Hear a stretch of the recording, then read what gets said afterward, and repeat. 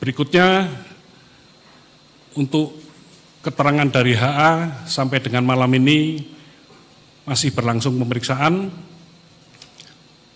Saya belum bisa menyampaikan hasilnya, namun demikian dari keterangan beberapa saksi swasta yang ada di KPK, eh, penjelasannya sudah sama dengan apa yang disampaikan oleh ABC.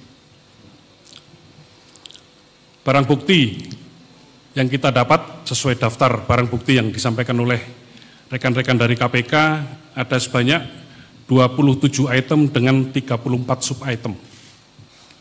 Jadi dokumen-dokumen termasuk laptop yang digunakan oleh ABC ini untuk menyimpan data-data terkait dengan uh, proses pengadaan barang jasa.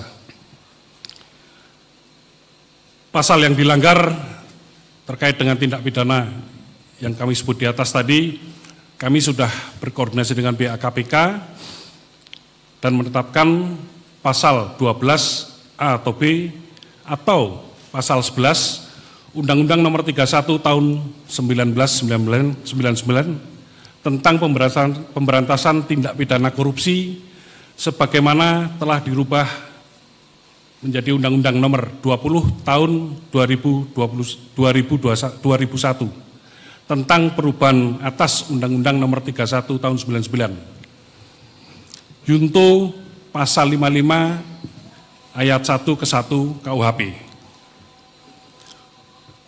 Proses hukum dari hasil urian di atas dan menurut keterangan saksi pihak swasta, maka dengan terpenuhnya unsur tindak pidana, penyidik Puspom TNI meningkatkan tahap penyelidikan kasus ini ke tingkat penyidikan dan menetapkan kedua personil TNI aktif atas nama HA dan ABC sebagai tersangka.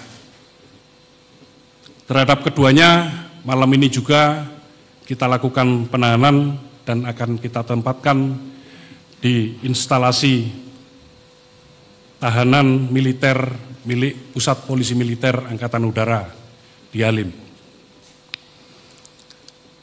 Perlu saya tambahkan terkait dengan permasalahan ini, sebagaimana yang diarahkan oleh Panglima TNI, bahwa koordinasi dan sinergi antara Puspom TNI dengan pihak KPK diharapkan ke depan terus dapat terus dibina dengan baik. Khususnya untuk penanganan kasus-kasus korupsi yang terjadi atau melibatkan personil TNI.